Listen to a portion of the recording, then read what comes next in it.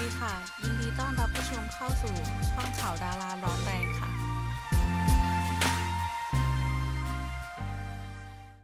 อาร์มชุติมาถึงกับรับไม่ได้หลังถูกชาวเน็ตตำหนิความสวย ที่ดูพยายามเกินไป ซึ่งต่างจากลำไยไหทองคำมาก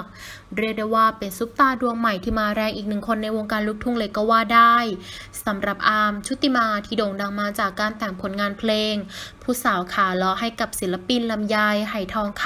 ำซึ่งเรียกได้ว่าก่อนหน้านี้อาร์มได้ไปยกหน้าศัลยกรรมทั้งตาและจมูกใหม่เรียกได้ว่าเปลี่ยนไปมากเลยทีเดียว ซึ่งก็มีทั้งกระแส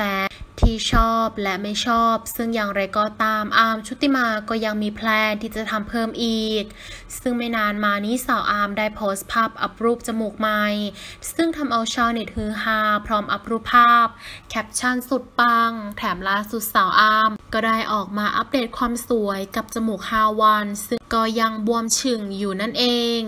ซึ่งอย่างไรก็ตามสาวอาร์มล่าสุดนั้นก็ได้เล่น TikTok อัดคลิปในชุดราตรีสีบานเย็นสดปัง แต่งานนี้เธอก็ไม่วายถูกวิจารณ์อย่างหนัก แถมยังเอาไปเปรียบเทียบกับพี่สาวคนสนิทอย่างลำไย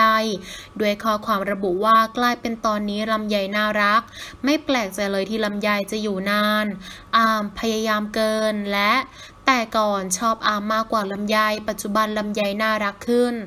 วางตัวดีขึ้น แต่อาร์มกลับเยอะขึ้น เราชอบอาร์มเวอร์ชันเก่ามากกว่า น่ารักดูเป็นธรรมชาติ ซึ่งงานนี้ต้องบอกเลยว่าบางทีเราก็ไม่ควรไปตัดสินใคร เพราะทุกคนนั้นต่างก็พยายามทำให้ตัวเองดีขึ้นในทุกๆวันนั่นเองละค่ะ